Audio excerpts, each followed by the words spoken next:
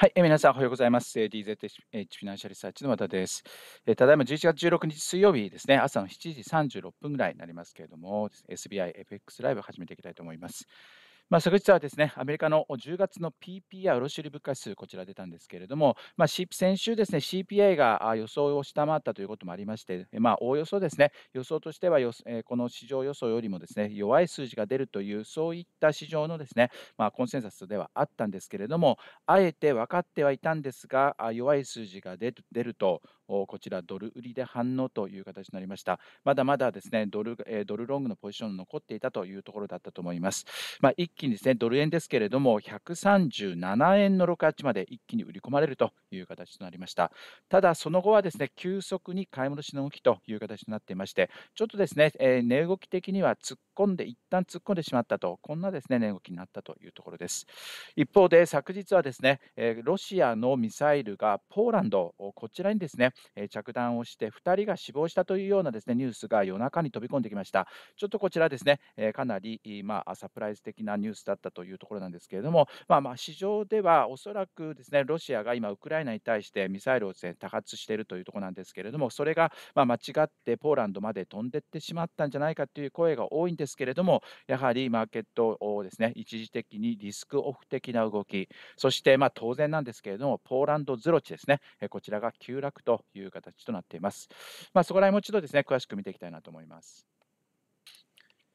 はい、えー、まずですね、トレンド5分チャートの方から見ていきたいなと思いますけれども、昨日は東京時間140円の62まで買い戻しが入る場面ありましたけれども、若干140円台ですね、この前半でのもみ合いがですね、ほとんどだったというところです。欧州時間入ってきますと、アメリカの長期金利の低下とともに戻り売りが強まる展開、130 140円を下抜けまして、139円台前半まで値を下げるという中で、またあですね、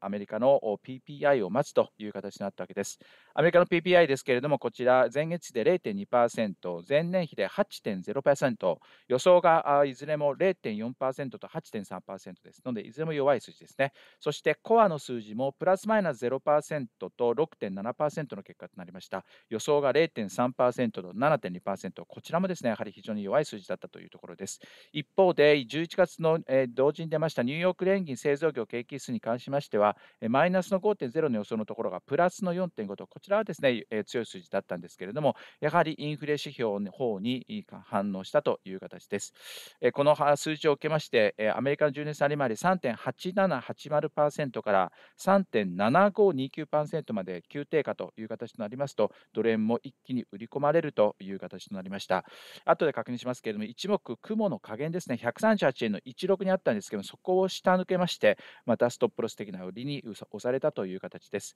137円の68まで一気に売り込んだんですけれども、その後見てください。急速に買い戻しの動きという形です。まあ、あの一目の雲のところですね、ここを意識して買い戻す向きもですね、非常に多かったという形ですけれども、やはり雲の一旦抜けたところをですね、買ってきたという形となっています。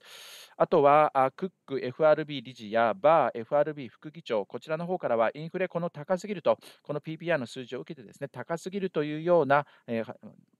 発言がですね入ってきたことも、ドルドル円の買い戻しを後押ししたという形となっています。一時139円の69までですね、買い戻しが進むという形になりました。その後は、まあ、あのロシアのミサイルがですね、えー、ポーランドに着弾したというような話もあって、クロス円中心にですね、少し売りが入りますと、138円98まで下押しをするんですが、まあ、下押しも限定的に終わっているというところです。今現在、東京税入りつつありますけれども、また再び買い戻しの動きですね、今139円の35まで買い戻しが進んでいるという形となっています。で、まあ、こちらのですね、チャートからあ今日のポイントがですね、見えてきますけれども、まあ、まず下のポイントですね、まあ、当然、昨日の安値、ね、137円の6月突っ込んで売ってしまった分、ここがですね、今日のサポートになってくるということは分かりますけれども、戻りのめどとしますと、昨日のニューヨーク時間の安値からの戻り高値、結局ニューヨーク時間の高値になってるんですね。ニューヨーク時間の高値が139円の69というのがニューヨーク時間の高値ですので、当然、ここの戻り高値が今日の上値のめどという形となりそうです。まあ、ここを抜けますと、またた140円台というですね、昨日の高値の140円62というところまで次のポイントが出てくるというところなんですけれども、今日は9円の69というニューヨークの高値を抜けるかどうか、こちらが非常にポイントだというところでしょう。あとはニューヨーク時間の高値からの下押し、こちらですね、138円の98というところ、えここもですね、今日は直近のサポートレベルになりますね。まですから、ニューヨークのこの午後のところの動きですね、え上が9円の69、下が8円の98といったあたり、ここを東京時間どちらかに抜けてくるかというところですね、えこちらがポイントになってくるというところです。こちら、奴隷の冷やしのチャートで確認をしましょう。今、ここ見てもらってますように、一目の雲、非常に意識されています。で、昨日も一瞬、7円の6町までうわっとこう売り込まれたんですけれども、その後すかさずショートカバーですね、買い戻しが動きになりました。やはりここを意識して買っている向きもですね、多いというところなんですね。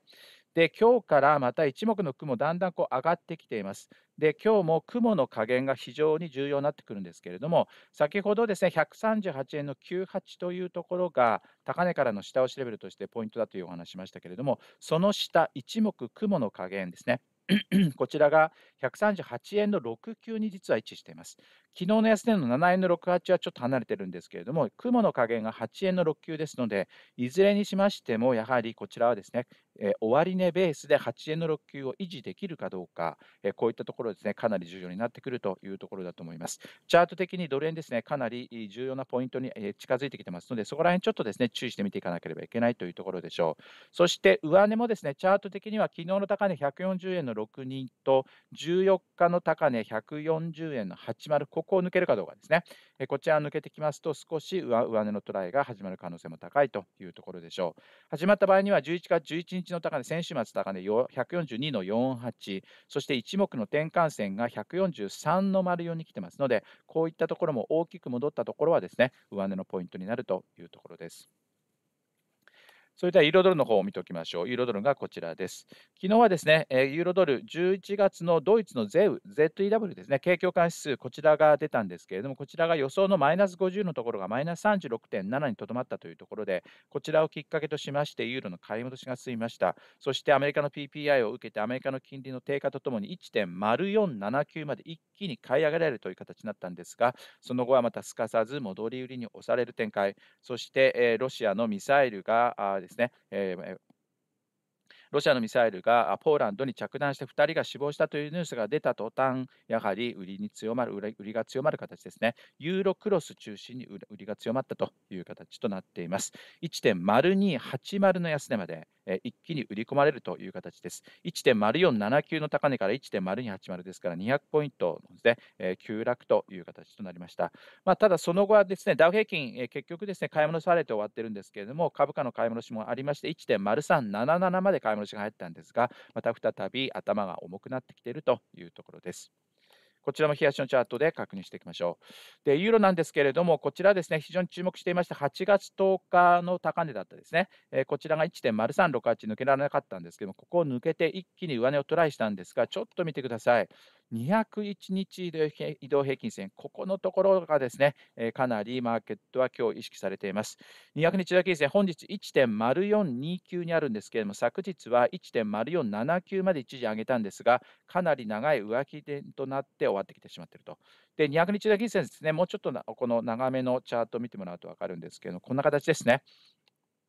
200日平均線、ここ行ったり来たりしていて、ダウントレンドに入ってくる中で、今年の6月のですね、えー、半ばから今度はずっと下回ったまま、そしてそれがようやく200日平均線とかに戻ったというところなんですけれども、ここが戻りとして頭になる可能性もあるわけですね。まあ、ですから、ここを抜けて、上昇トレンドに入っていくのか、それともここが、買い戻しのですね、目処になってしまうのか、非常に200日平均線という重要なところに差し掛かってきているというところです。まあ、ドル円もそうですけれども、ユーロドルに関しましても、非常にチャート的なポイントをですね、重視しなければいけないという状況でしょう。そして今日はどうしてもですね、えご説明しなきゃいけないのは、ポーランドズロチですね。見てください。えポーランドズロチ円のチャートです。まあ、普段ポーランドズロチをやってる方はですね、あまりいあのいらっしゃらないと思うんですけれども、やはりこういった時はですね、昨日もユーロポーランドズロチですとか、ドルポーランドズロチ、ポーランドズロチ円ではあまりですね、え海外勢はやってないと思いますけれども、特に欧州勢は、えユーロズロチなんていうことをですね、えやってるんですけれども、えいわえまあ基本的には、えー、ズロ値売りにつながったというところですね。えー、昨日も見てください。こちら30円の8ですね、86あたりの高値から一気に売り込まれました。30円の17あたりまでですね、一気に売り込まれるという形。若干買い戻しが入っていますけれども、なかなかですね、戻りも鈍いという形です。まあ、こちらはですね、やはりウクライナに隣接しているということもありまして、こういう突発的なですね、やはりリスクというですね、地政学リスクというのが、ズロッチにはですね、まあ、ついて回っているんだというところ、まあ、こちらが今回確認できたんじゃないかなというところなんですけれども、ズロッチ円のですね、冷やしのチャートも確認していきましょう。ズロッチ円ですね、若干こう買い戻しが入ってていたんですけれども、このところ、少しダウントレードに入ってきているというところなんですが、下値のめどとしますと、10月24日、こちらですね、10月24日の安値が29円の99というのがズロッチ円の安値になっています。まあ、昨日は30円の17まで落ちてますけれども、やはり30円割れのあたりですね、ここでサポートできるかどうかといったところ、まあ、チャート的にはですね、こちらも下値としては意識しなければいけないというところだと思います。まあ、ロシアはですね、こちら自分たちは意図的にはやっていないという話をしてますけれども、まあ、こちらはですね、まあ、どういった外交的な話になるのか、今ですね、まさにバイデン大統領とえー、ポーランドの大統領ですね、2人で今、会談中というところであるみたいですけれども、まあ、こちらですね、やはり NATO の加盟国のえー、にですね、えー、ロシアの、え、ミサイルが着弾して死亡者も出たなんていうのは、まあ、かなりですね、まあ、重大な事態になっているというところですので、えかえまあまあ、ロシアもですね、まあ、無理やりやったわけではなくて、ウクライナに、え、ですね、向けてやっていたのが、やはり誤って、え、ポーランドに行ってしまったと、飛んでいってしまったと、まあ、こういうところなんだと思いますけれども、やはりこちらをですね、マーケットとしてもまだ消化しきれてないというところですので、そこら辺もやはり注意をしてみていかなければいけないというところだと思います。はい、え、それではですね、今日予定されていますもの、経済指標を確認していきましょう。はい、えー、こちら見て待ってますのが、今日予定されてますもの掲載仕様となっています。えー、今日はアジア時間9時半、7、9月期のオーストラリアの賃金数ですね、こちら重要になってきます。そして欧州時間16時、10月のイギリスの CPI ですね、えーと、あと小売物価指数 RPI とインフレ指標、こちらも重要となってきます。あと8時が9月南アフリカの小売売上高、そして10時15分、10月カナダの住宅着工件数、10時半が10月カナダの CPI、そして今日一番重要になると思いますのが、10月のアメリカの小売売上高ですね、こちらはポイントとなりそうです。。あと10月のアメリカの輸入物価指数、11時15分は10月アメリカの鉱工業生産設備稼働率ですね、と続きます。そして24時が11月のアメリカの